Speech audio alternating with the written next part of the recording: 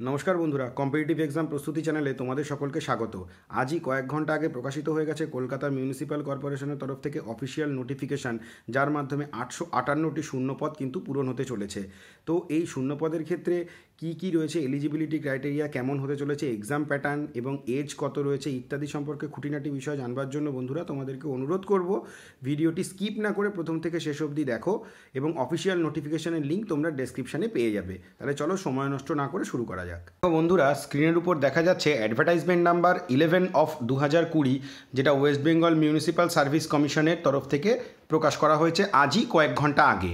তো এখানে ভ্যাকেন্সি রয়েছে কনজারভেন্সি মজদুর পদে, যার টোটাল ভ্যাকেন্সি হয়েছে আটশো আটান্ন।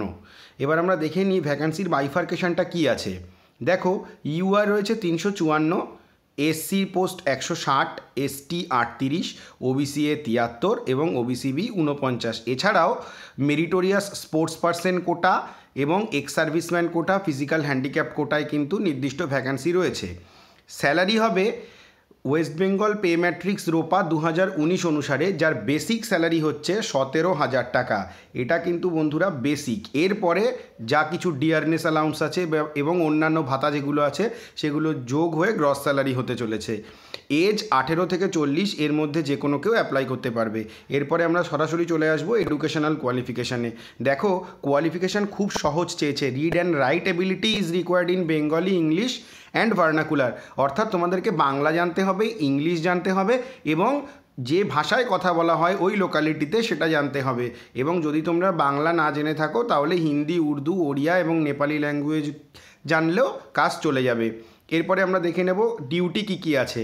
Collection of solid waste from door to door, অর্থাৎ বাড়ি বাড়িতে গিয়ে তার যে ওয়েস্টেজ ডেলি ওয়েস্টেজ যেগুলো হয় ময়লা, সেগুলো গাড়িতে নেওয়া, স্ট্রিট সুইপিং, রাস্তা ঝাড় দেওয়া এবং এবং তিন নম্বর পয়েন্টে রয়েছে transportation of waste to vats এই যে আমরা ভ্যাটগুলোতে ময়লা ডাম্প করা থাকে, তো সেগুলো যেমন বাড়ি বাড়ি থেকে কালেকশন করা হয়, সেখান থেকে ওই ভ্যাট অবধি নিয়ে যাওয়া এবং যে মেশিনগুলো থাকে সেগুলোর মধ্যে লোড করা। এক্ষেত্রে কিন্তু এই কাজগুলো করতে হতে পারে এবং এর জন্য ইকুইপমেন্টস দেওয়া হবে। হ্যান্ড কার্ডস যেটা ওই হাতে টানা গাড়িগুলো রয়েছে।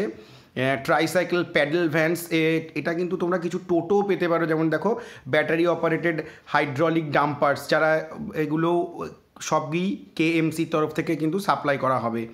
এবং চার নম্বর কাজ রয়েছে ডাম্পিং গার্বেজ এই সমস্ত গার্বেজ যেগুলো বাড়ি বাড়ি থেকে কালেক্ট করা হচ্ছে ভ্যাটে নিয়ে যাওয়া হচ্ছে, সেখানে কম্প্রেস করা হচ্ছে, তারপরে টোটালটাকে ধাপা বা ডাম্প সাইটে ফেলা হবে।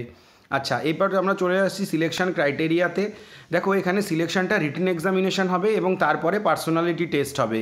এবং একটা ফিল্ড টেস্ট হবে যেখানে প্র্যাকটিক্যাল এক্সপিরিয়েন্স হবে আর কি ক্যান্ডিডেটদের যে ওয়েস্টেজ এবং গার্বেজ কালেকশান সেগুলোকে ডাম্প করা এবং ভ্যাটে নিয়ে যাওয়া, এর একটা প্র্যাকটিক্যাল ছোট করে এক্সামিনেশান কিন্তু তোমাদের নেওয়া হবে।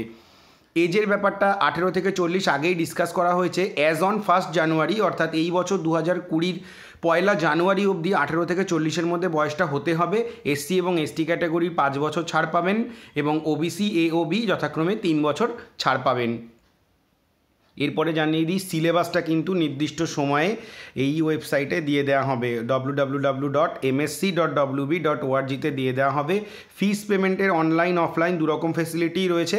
যারা অফলাইন পেমেন্ট করবেন, তারা ইউনাইটেড ব্যাংকে চালানের মাধ্যমে টাকাটা ডিপোজিট করতে পারবেন। দেখুন অ্যাকাউন্ট নাম্বারও উল্লেখ করা রয়েছে।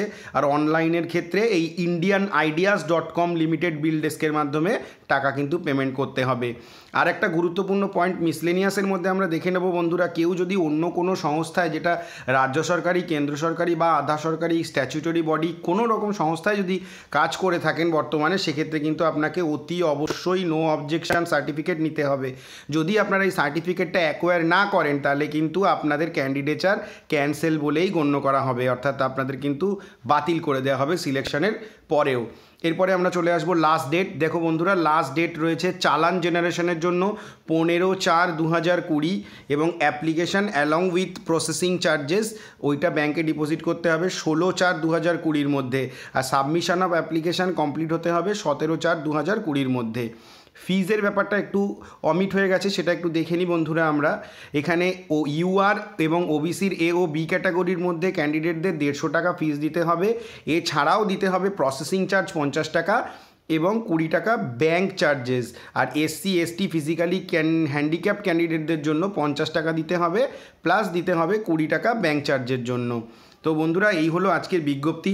ভিডিওটি যদি ভালো লেগে থাকে, তাহলে ভিডিওটিকে একটা লাইক করো, চ্যানেলটা সাবস্ক্রাইব করো এই রকম চাকরির খবর সবার আগে পাওয়ার জন্য।